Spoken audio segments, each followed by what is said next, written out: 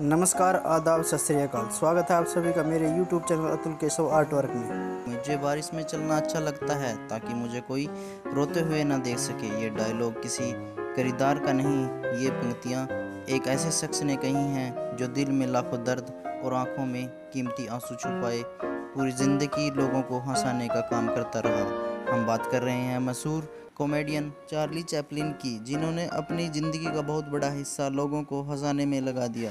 उन्होंने अपनी अनूठी कला से उस दौर में शोहरत हासिल की जब फ़िल्मों में आवाज़ नहीं हुआ करती थी, यानी कि वो दौर साइलेंट फ़िल्मों का दौर था।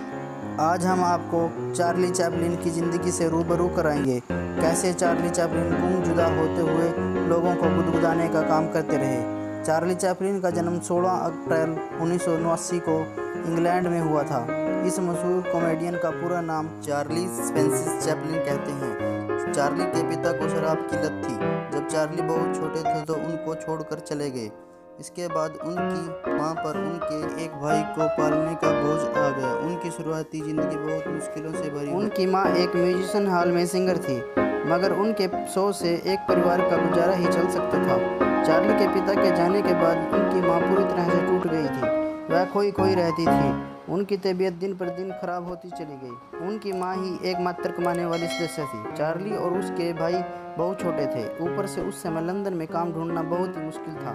मासूम चार्ली के कंधों पर अपनी माँ को संभालने की जिम्मेवारी आ गई। कहा यह भी जाता है कि उनकी उम्र काफ़ी छोटी है। छोटी उम्र में वह काम करने लायक नहीं है। बुरे वक्त में भी उन्होंने मुस्कराना नहीं छोड़ा। ज़िंदगी का जो दिन बिना हंसे और मुस्कराए गुजर गया, वह ज़िंदगी का सबसे बुरा दिन होता है। ये पंक्तियाँ चार्ली चैपलिन द्वारा कही गई हैं। चार्ली चैपलिन कम उम्र में काफ़ी परेशानियों से जूझ रहे थे। मात्र उन्नीस वर्ष की आयु में रंगमंच की नामी कंपनी फ्रेड कार्नो के साथ करार कर लिया। कंपनी उन्हें अमेरिका ले गई। उसके बाद चार्ली ने वो मुकाम हासिल किया कि दुनिया उन्हें एक आइकॉन के रूप में देखती चार्ली की नटखट हरकतें लोगों को इतना गुदगुदाती थी कि उन्हें हँसते हँसते उनका मुँह दर्द से लाल हो जाया करता था। चार्ली ने अपनी हँसी को हथियार बनाते हुए फ़िल्मों में दस्तक दी और रंगमंच की दुनिया में एक बहुत लंबा सफ़र तय किया। फ़िल्मों में उनके द्वारा निभाए गए किरदारों ने ही रातों रात उन्हें स्टार बना दिया।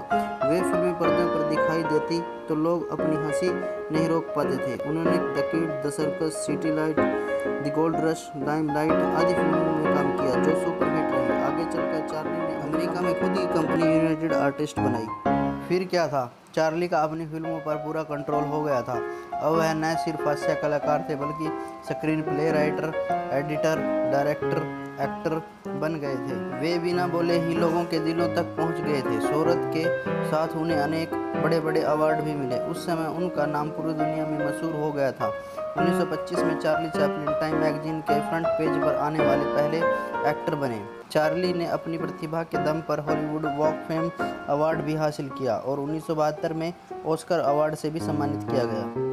चार्ली ने अपने जीवन काल में चार शादियाँ की, जिनमें से तीन पत्नियों को छोड़ दिया। चार्ली जितना अपनी अदाकारी के लिए प्रसिद्ध थे, उतना ही विवादों के लिए भी रहे। विवादों में फंसने के बाद चार्ली स्विट्जरलैंड आ गए और अपनी ज़िंदगी बिताने लगे। चार्ली ने 25 दिसंबर उन्नीस को इस दुनिया को अलविदा कह दिया।